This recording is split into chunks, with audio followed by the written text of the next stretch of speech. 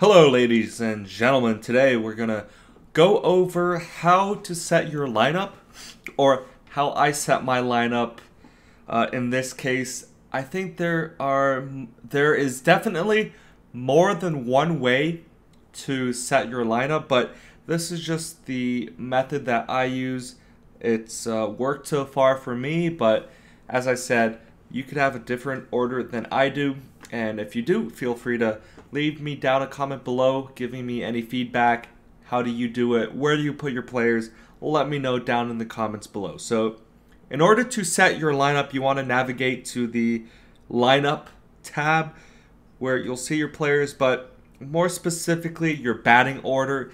This is what we're going to focus on today the batting lineup. So, I just kind of went off just general, very basic, uh, some principles that I guess basic baseball lineups are set with.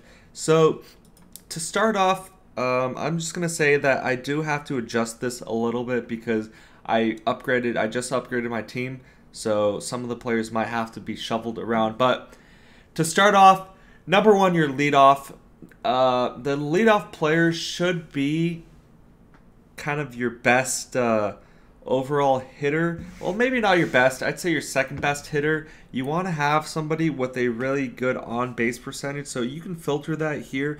You can see um, the OBP on base percentage. You want someone that someone that's I would say second highest. So here M Martinez, he's 0.374 um, we have some 0.38, 0.4. Mike Trout, which is our best hitter. We're going to talk about that a little bit later. But in this case, I mean, you could um, put your best hitter first, but depending on their stats, you want to save them for later. So, first overall, first in your lineup, put I'd say either your second or third best hitter just on base percentage, not their average, just you want them to get on base. That's their entire job to just get on base. So this takes into account, you know, walks taken and things like that. With your second player, your two spot, you want them to be a good hitter once again, uh, a good on base percentage here once again. Um, maybe your second best. You don't want someone that strikes out a lot, um, also, somebody who's fast. Your first hitter should also be fast as well because you want them to have the best chance of getting on base. So you're looking for your second and third best hitter, but also with some speed. So here you see that I've upgraded him to 102 speed. So speed demon, leadoff gets on base. Second person up, has speed to advance as well. So your third hitter, once again, a good hitter, high on base percentage, um, definitely one of your top four hitters. You want somebody who has good power and contact because if they can be getting doubles and triples and your first two hitters can get on base, then this will bring them in. So once again, 0.38, very good. A lot of RBIs you can see here. A good mix of power, 85 power, and contact. Fourth hitter. Now, this traditionally is your best hitter, hitter with the highest power, because the goal is to get your first three hitters on base. So your fourth hitter steps up, tons of power, can drive home a lot of runs. So you can see I have my Mike Trout 92. I think what I'm going to want to do is actually move Mike to the third spot. And we're going to move Art Clark to the fourth spot. Since he has 98 power, he is my power hitter. He's batting 308, not the best, but we want that power. Now, the fifth spot, moving up after that, you also want high power, good contact, solid batter because if your four cleanup hitter is not able to clear the bases, there's some people left on base still. You want this person to have that power to drive some runs home. So we see 85, C. Lopez, pretty good. But now, once we move down the list, um, we're on to six, seven, eight, nine. Now you just want kind of your your next best. Your next best. Um, you can just go straight up using batting average or OBP, but I'm gonna switch out him because he is a little bit better. And then going down the list, you know, 63 overall, 65 over, overall.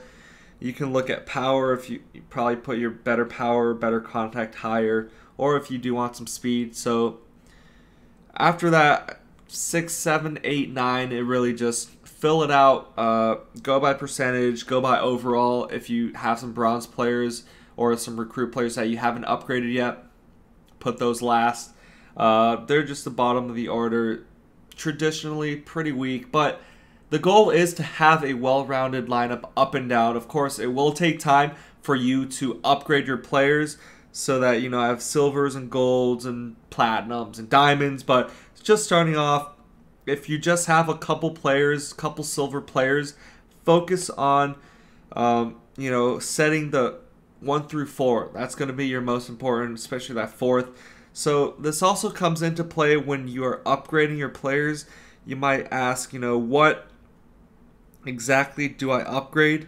You know, I have Mike Trout, or you know, this guy with the 98 power. So you want to kind of focus on. So here you see that I have this guy 98 power. His next best stat is 82 batter's eye. I'm focusing purely on power for him. For this other guy, purely on speed. So we know that he's going to be in the fourth spot. He's going to be my cleanup hitter. I want power out of him.